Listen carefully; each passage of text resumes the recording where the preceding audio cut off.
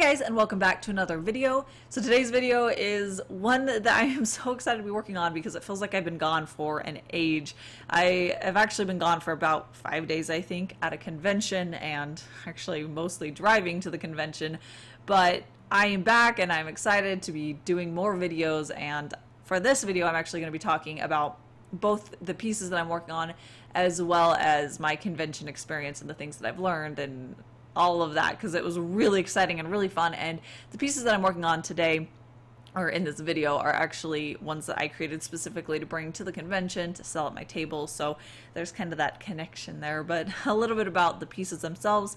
I wanted to do them in a circular format. I had that image in my mind when I was thinking about what I wanted to produce for my table and the benefit of it being a circle is that it can have very different compositions or a different way that it lays out. When it's rectangular and square, there's those corners you have to worry about, but when it has more of a circular shape, I can have something that feels much more encompassed and held together. So for these, I decided I wanted to this skull motif, and by having these really rounded edges, it mirrored the shape of the skull where it came in and it just it matched it a little bit more and I really love the look of that when I have the uh, the canvas that's helping reinforce the subject matter itself. So I knew that I wanted to have rounded canvases.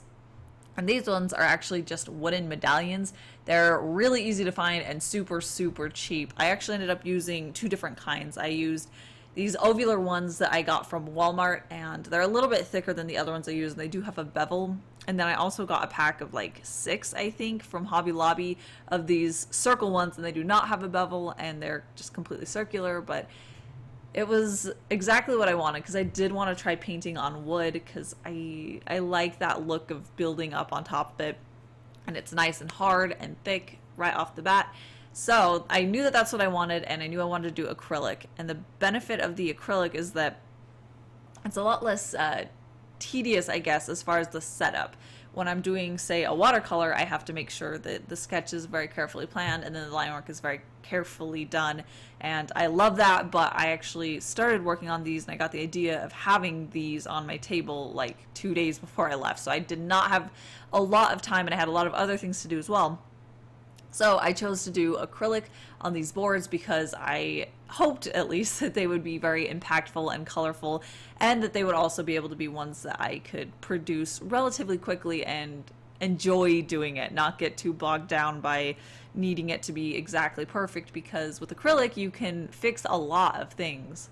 But there were a lot of things that I learned in these pieces working on the acrylic, which is really exciting because I want to start doing a lot more of them. It was really fun to work on it.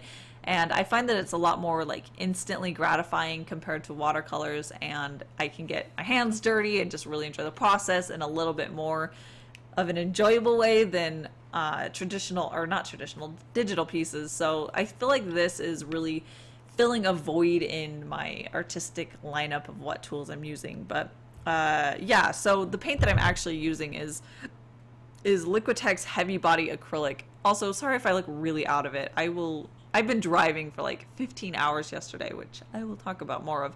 But uh, most of the paint that I'm using is this Liquitex Heavy Body and I actually got a little set of a bunch of these little tiny really vibrant paint colors and they're gorgeous and I almost exclusively used the like neon colors that or yeah the really bright colors that came in that set and a white so this is mostly what I'm using and then the white that I used was the Grumbacher I don't even know how to say that. Grumbacher Academy, which I actually use the white one of this, but those are the paints that I'm using.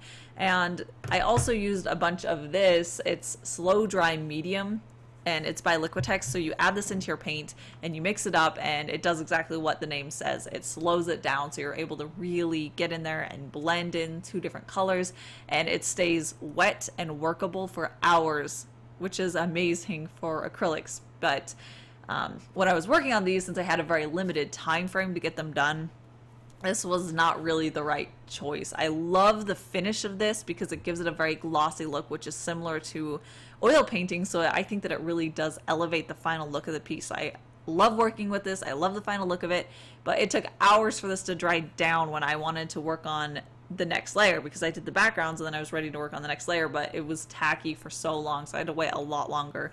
And I did another piece where I decided to not use the slow dry because of that reason, and the background dried in like 10 minutes flat. It was so fast.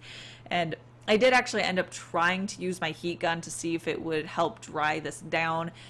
And it might have worked, but it started doing this like bubbling thing, and I got really nervous that it was going to do things that I didn't like. And I think that a hair dryer will work uh, better for this kind of a thing because it doesn't get so hot. So that may be the difference between why a hair dryer works and my heat gun doesn't. Is that the heat gun cooks it, whereas a hair dryer is warm, but it mostly is just blowing air at it to dry it out. So that's one thing that I probably won't do more of is trying to use that heat gun on my acrylic but I did learn that. And another thing that also was really exciting to learn is that uh, you can use alcohol to clean up certain layers of your acrylic painting. So in the green one that I'm working on, he has teeth that I painted in there and I didn't sketch those in, which was my first biggest mistake is that I put those too low. So because the skull was starting lower in the oval and then I put those teeth too low, it looked off center and it looked really unbalanced. But if I were to just paint over that last tooth, it would not blend in with the gradient background behind it and you'd be able to see that outline of the shape itself because the paint has thickness to it. So I actually went in with this alcohol and I very carefully with a q-tip dabbed it like right on the tooth and I was able to work off that top layer because the alcohol will eat away at the acrylic. So that's the great thing is that I was able to pick that up and then I did go back in with kind of a glazing layer where I just very carefully put back in a little bit more of that blue purple just to bring it back and smooth it out a little bit more and it was so seamless. I was surprised at how well that worked because it really, you couldn't even tell anymore. It looked like it had disappeared. And then I was able to move that tooth above the other two. That way it balanced out the composition and everything. And the final thing that I'm using in this piece is actually something that I'm really, really excited about and surprised about, but um, I was looking at the little craft section at Walmart and I was just looking for something that would be able to create a um, an acrylic line work. So I wanted something that would be kind of like a paint pen.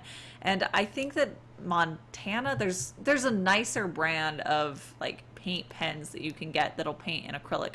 And that's the one that I was thinking about looking and finding, but I saw this one at Walmart and it was $1.77 and it just says painters and it's an acrylic pen and I decided to get it. This was actually like the very last one on the whole display and it happened to be black, which was perfect. And it's an ultra fine tip. And the biggest problem is that it leaks everywhere. You can see on the end, there's a ton of extra ink. So I usually, when I open this, I have to like wipe it off and make sure that there's not too much ink that is about to come down. But this stuff is awesome. I was so blown away with it because it does say that it's like, that it is opaque, but it was just so cheap and so like brandless almost that I wasn't sure if I'd be able to like believe that it was going to be that opaque, but this stuff was black. It was like super, super, super black.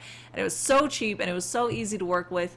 And I loved it. So that is really awesome because it is a great way that I can put the line work back into uh, my acrylic paintings because the line work is like it is the core of how I like to create my pieces. So being able to find something that I can still include it in this new medium that I'm trying out was really awesome. And being able to add that graphic element to this piece just really pushed it to the point where it was felt good and complete and it felt like my work. So this is something that I'm really excited about. I probably will still get the um, the other nicer brands of paint pens at some point, but this one is just so great that I don't know. I, I didn't feel like I was really lacking in things that I wanted out of it.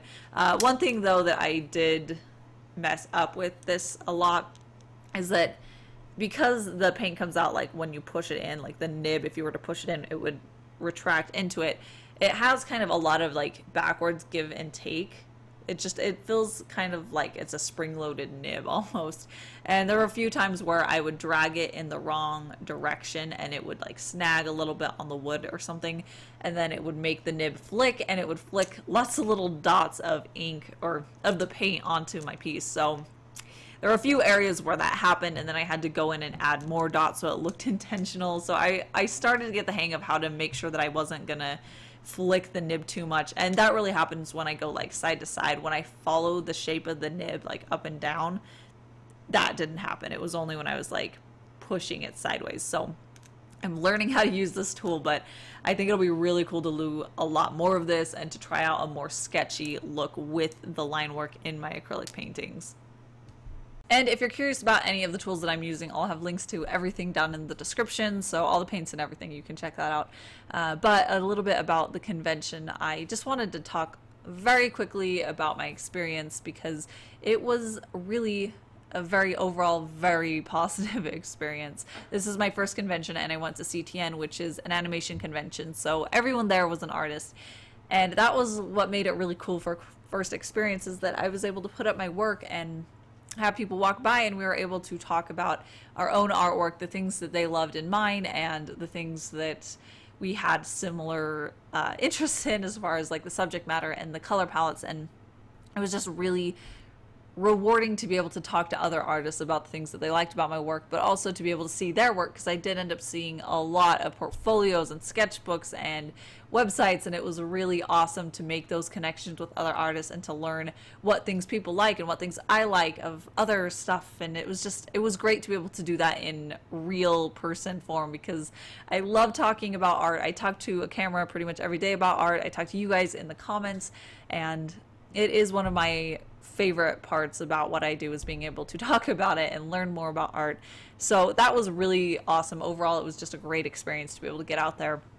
But the like the pinnacle of the most amazing experiences was being able to meet a couple of you guys, so people who knew me from YouTube and recognized my name and they came over and said hi. It was I cannot tell you how absolutely exciting and motivating of an experience that was. It was so phenomenal to be able to meet you guys and talk and meet and just know each other in a very personal form so that we we knew each other and we had that cool connection on the internet. And then to be able to turn that into a real person friendship and it was just it meant a lot to me. So if any of you guys are watching that came by and said hi to me, I just want to thank you guys again because it, it really did mean the world to me. And if there's any new people who I met at the convention and they're now watching this, I just want to say that is awesome and welcome and that's really cool. And for everyone else who's been watching for forever and haven't been at the convention, I just want to say thanks to you guys too for all the support. I just I feel really grateful and thankful to all of the support that I've received over over this time where I've been trying to get my work out there. So all I can say is thank you guys so much. And uh, yeah, that is pretty much it what I want to say about it. I will absolutely be doing a lot more conventions because I did love it. And this green piece actually already sold at the convention. So the purple one is still available. So if you wanted to own an original of mine, she is available at the link right down in the corner of my video and down in the description. And I'll also actually have a lot more like pins and prints and different size prints that will be available because I got them all produced and ready for the convention. So I'll have them available on my shop within the next couple of days. But the original is available now, so you can check her out. And yeah, that is pretty much it for today. I will be getting right back into my uploading schedule and I'm diving right into Twitch. So I'm going to start really figuring out how to stream and what days I want to stream. So that'll be happening very quickly. It's my next priority. Anyways, that is everything for today. Thank you so much for watching, and I'll see you guys on my next video.